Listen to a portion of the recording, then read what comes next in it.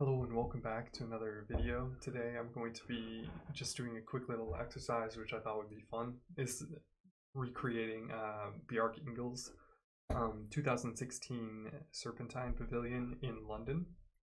I thought it would be a good exercise because it, we can we can combine using um, sub D in Rhino 7. It's also relatively simple um, Grasshopper script so this will not be like a complex build. I assume this will take like 15 minutes. But um, if you enjoy, please drop a like and subscribe. Um, yeah, so let's go to uh, Rhino. What I'm going to do is first build the surface geometries. And it's going to be two surfaces that are will be built with sub D. And then we're going to build a, a grid, which is going to sort of obey like an A-B patterning, like a checkerboard. So A-B, A-B um, grid that is going to project onto either one or the other um, surface to generate where the um, extruded boxes will go. And then step three is we're going to project those points onto the correct surface and create those extrusions um, in that as well. So those are the three um, processes that we're going to go through. Okay, so first, so here I am now in Rhino.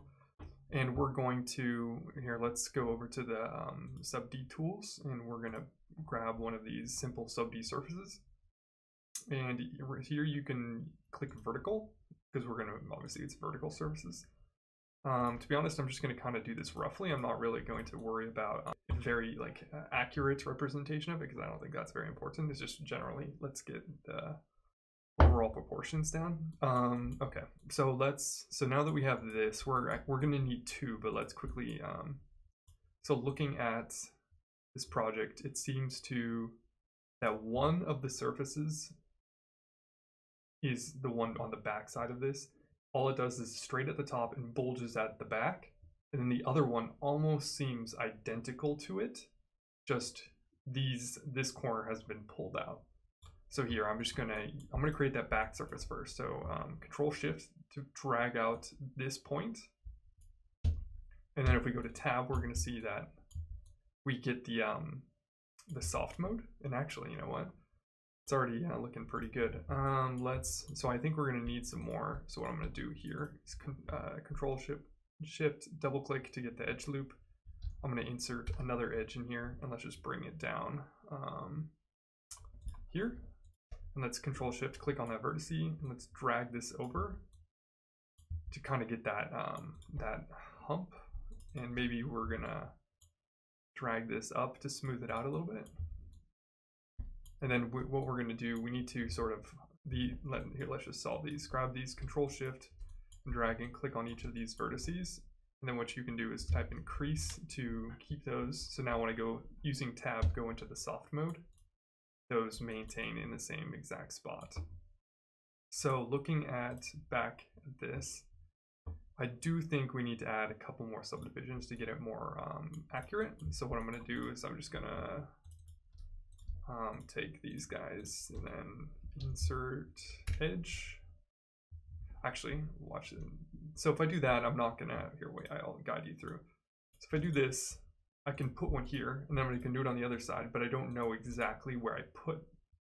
So a better thing, control Z, um, go back, not that far back, is actually you can control shift, double click on this and then insert edge and then click on B for both sides and then do something like this. So you can offset it quite a bit. And now what I was going to do with that is take these and these and actually have, let's do this. I want to bring them back this way. And actually let's simply, um, let's simply do set PT, set point.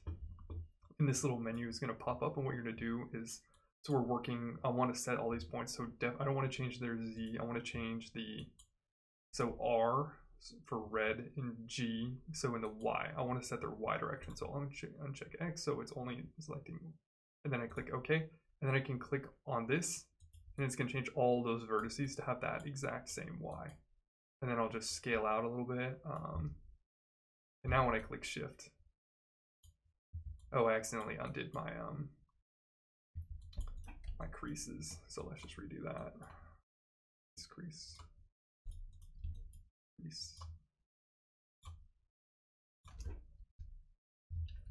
Okay. It's looking pretty good. I think that's uh, good enough. Maybe, I mean, maybe we can uh, actually, yeah, let's exaggerate this a little bit. Let's really pull that out. Okay, so there, so there we have now. Now we need to create that second surface, which I'm going to um, do with. I'm I'm figuring if I should mirror it. So actually, what you'll see is that if I just um, Alt drag, actually, yes, we're gonna do this. So what I'm gonna do is actually take take these and then do set um, pt same in y and I'm going to set it along here. So now we're back at that, this surface. And now I'm going to move this one to be aligned with here. And then, or no, sorry, I shouldn't do that yet. Because then uh, I'm going to take, I don't want this edge loop anymore. So I'm, and then I'm going to take these two guys and then zoop them out like that. And actually, I'm thinking maybe I don't want these either. Let's see what that does. Um, and then now if I move this back over to here, I mean, I think that's a pretty good um, approximation. Of course, you could add, add, for example, another here, isolate if you want to edit this because they're overlapping, and then if you want to like insert another edge to um to sort of refine that, but I definitely don't want to do both sides. Should I do this? No, I think it's okay. I think I think it's okay. Okay, so let's so now that we have these two surfaces, I'm going to um, change the display color to be let's just do blue and then dark blue for this one. So now so now we have so now this is basically step number one we are going to want to end up doing this, which is we're going to want um, a copy of them. So let's to to draw the lines between, because as as you can see um, here, the the thickness of these boxes. So we're we're defining the outer surface of this and the inner one, and you can see that it's not a consistent um, thickness. It's actually there's actually sort of a little variety. So I'm going to create a second set of surfaces to represent the other edge of the boxes. And and this will is where we'll get our variety. Okay, so I just did control or alt and drag them over. So now look, so now we have these two and these two. And what I'm gonna do is I'm just gonna manipulate the, this interior one a little bit just to get some more um, variety in it. So I'm gonna take these two vertices and drag them in a little bit. Um, I know in the bottom that this this here, which we if we go back to the plan, um, is there a an underside looking? Uh, but I know these extrusions in the back are really long, so I want to make sure back here they're see they're quite long, so I want to make sure that surface back there really exaggerates that. So I'm going to grab this. If I tab, I can now just drag this here so now you can see I'm going to be able to take that and actually end up getting that thickness uh, that, that we want. Um, let's just take this, grab this guy out a little bit. Um, yeah, so I think that's good. I think that's going to be pretty interesting. Um, okay, cool. So let's let us let let's start out. Let's go into Grasshopper now.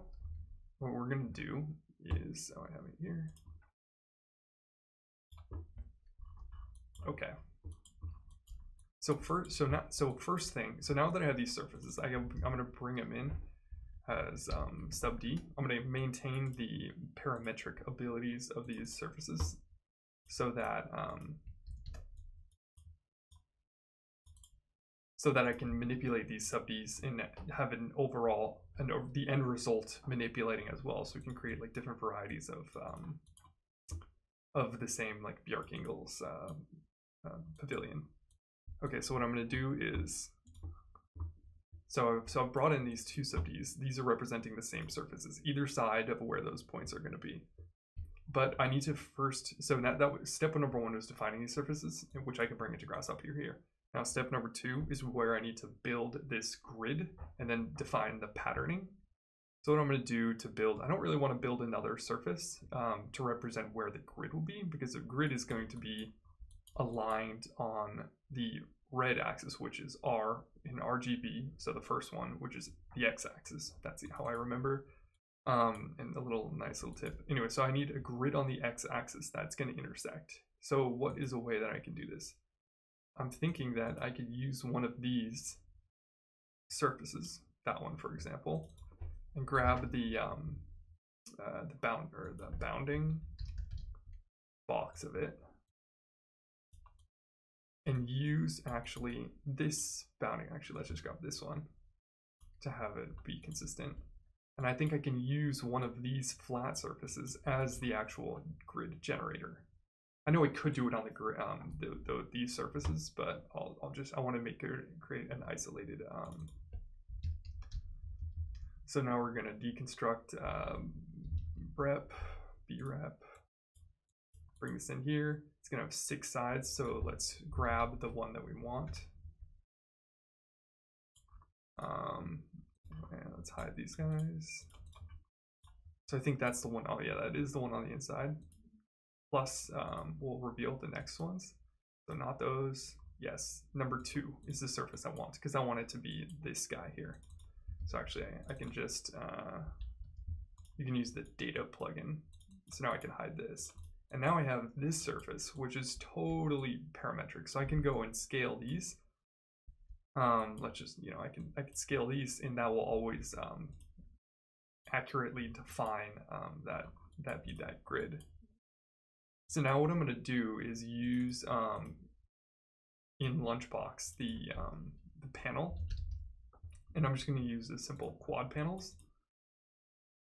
And so let's, okay, so let's bring this into here because I want to generate this grid of points. And I'm, and if, as you're going to see, I'm going to use the center of this, of each one of these panels.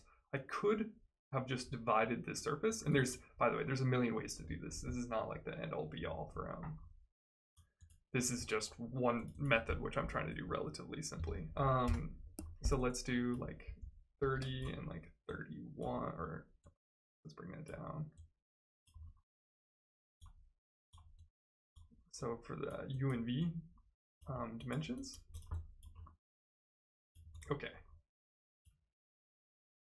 So now we're defining these panels and it's going to output a series of just quad surfaces. So you just, as you can see here, there's 770. Actually, let's let's uh, bring that down a little bit just so I don't have to, it's not gonna lag. Okay, so there's now 540 surfaces.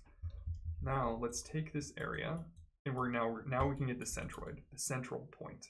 So as you can see here, the workflow is that I've now made a grid that I'm going to be able to project onto each of these surfaces individually and then create the geometries that are residing inside of the two um, like bounding surfaces, little sandwiches. Okay, so now, but the one thing I do need to do is I need to break this up into that AB um, checker pattern in a, and as long, so this, as long as I keep this a um, odd number, so 27 rather than 26, what you're going to see here is if I take the center points and put it into here, this pattern is always like AB true false. Um, here, let's just put these guys into point containers so you can clearly see how this is going to um, separate. Okay, you can see that immediately. So as long as this is an odd number, it's going to line. It'll, it'll give you the checker. The second you make that an even number, as you can see, it's going to um, it's not going to be that checker pattern. And it's just the way that it's sort of you could it is a little bit more work of course to be able to make that always um, checkerboard pattern but i don't think it's uh, worthwhile. I think i even counted on um on the on the uh, Bjarke Ingels project and they even had uh, an odd number of um, services. So they probably just use this exact same um, method Okay, so, so now that we have this A and B point container, which is great, we're going to want to now project this onto each of these surfaces. So let's So so we've so we've clearly defined our grid, so which we can like hide up in here. Now what we need to do is um, project. We're to do the project along because we can define um, the uh, angle, which is going to be y or negative y, I think. Anyway, so let's so let's take these points, this container, project. So this is the points to project. This will be the direction, and this will be the geometry to project onto. So I'm going to project onto this object. And let's, which you can see Oh, it's so I need so I need to first define also the direction. Let's see if I'm going to need to put y or negative y. Okay, so I need to also put negative. So y, negative y, bam. Okay, so now we point projected it onto the first surface, and now we're also going to just uh, Control C, Control V, and do this onto the second surface. So now we're gonna have these points defining that. And I'm actually just gonna hide these for now. And actually hide these for now. Okay, so great. Now, so now, so now we know where we can, we need to put our geometry, which is really simply along those, um, in between those two points, along a, a vector between those two points. Okay, and I'm actually gonna make a vector well, we can make a line. You can use the line components. That's simple.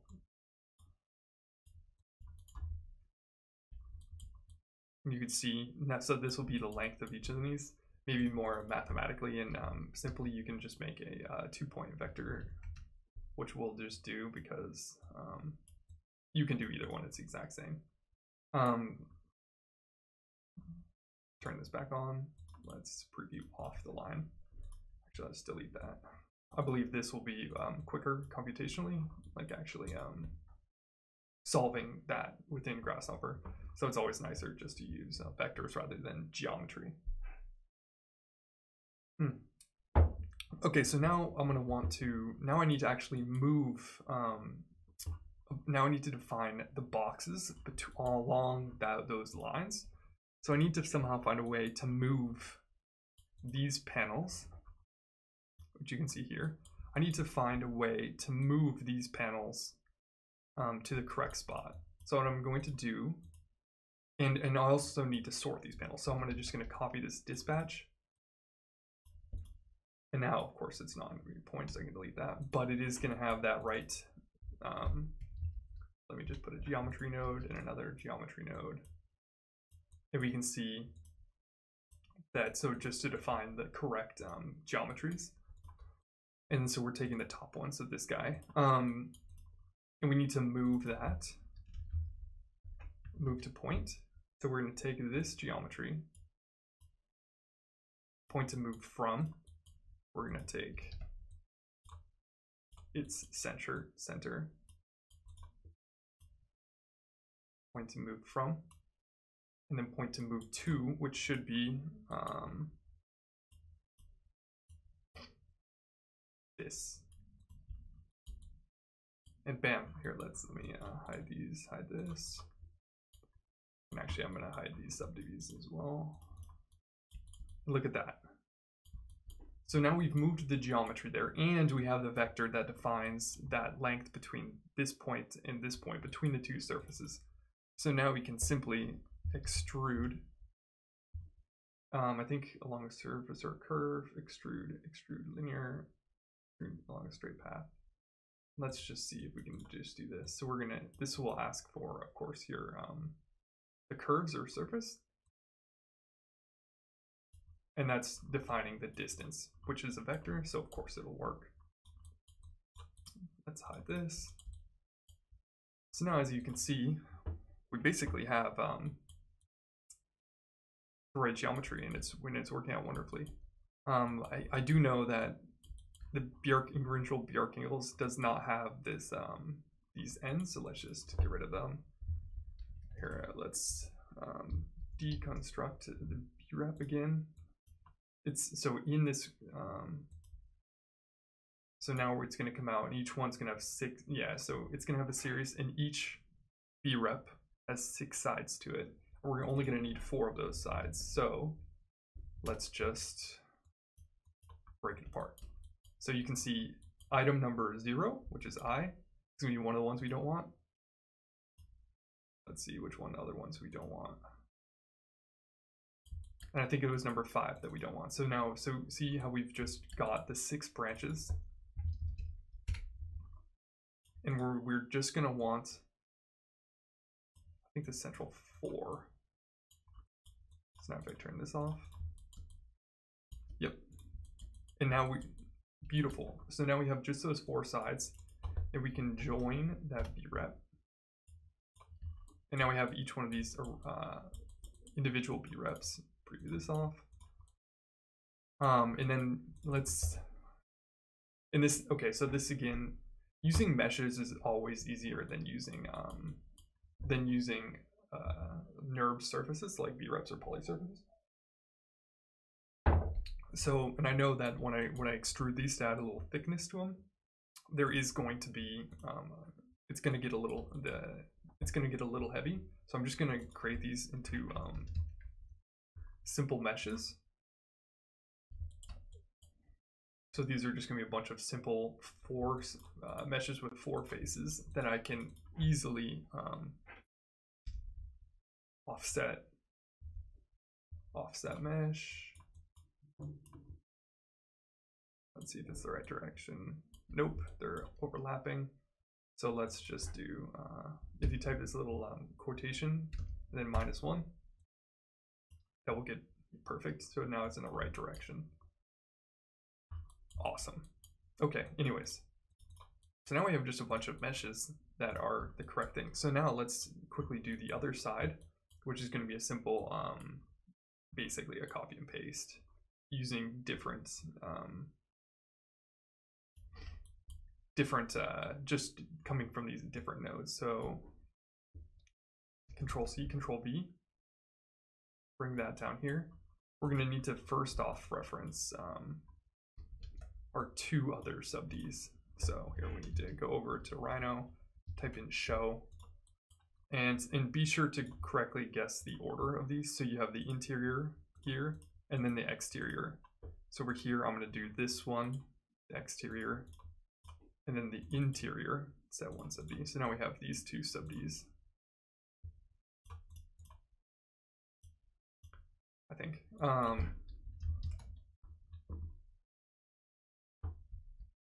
Yep. Okay, perfect. So now, now we're just going to need to basically plug those into where um, these are going. So this sub D was connecting to, so we just basically need to replace that one to here.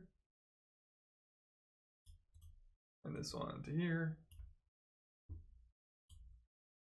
And then we're going to need just to replace, um, so this point is connecting to, I just need to put it into these two project points. So this one into this project and this one into this project, and then simply swap out the, um, this so this geo is going into the area to get and then the movement so this this one needs to go into the area and this one into the move to point. Now if I turn this off we should have a perfectly unzipped uh, perfectly unzipped um, uh, serpentine. And let's of course do a custom preview and add a shader um, swatch, color swatch. Let's just do this to light blue. Turn this off. Copy this. And switch this one to be a little bit darker blue. And bam, we have we have the Serpentine Pavilion right there, folks. Um, of course, we can tweak this now. The thing is, is that once you make something, it's not done. You now you have all the control in the world over those parameters, specifically these ones, which I will highlight right there. So these are, of course, the the number of divisions, and I remember toning them down. So let's bump this up. Let's like, for example, put this at 30. and I mean, it looks it looks quite good. I mean, look at compared here. Let's bring up uh, where's like that well-known image. Let's put that over here, and this here. Already know that mine isn't gonna be as nice, but come on, where did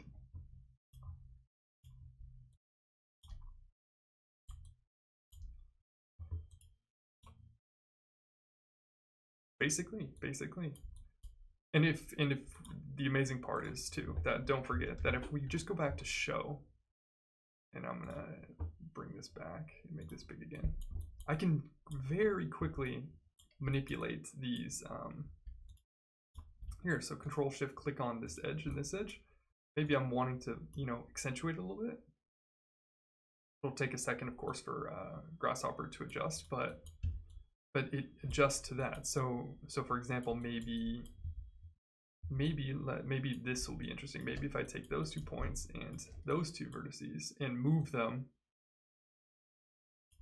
to here, gonna take a second to adjust. But you can see how quickly with sub D we can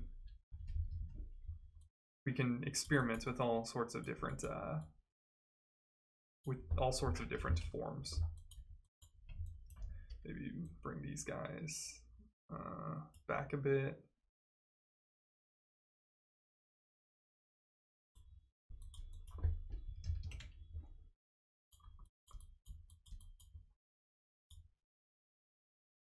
Uh, let's go to rendered. And there you are, folks. You have uh, Bjarke Ingels' Serpentine Pavilion. I think that was a quick little video. Thanks for tuning in. Remember, like and subscribe, please. Uh, it's always helpful, you know, on the channel. Um, and thank you very much. Have a good day. Enjoy your weekend.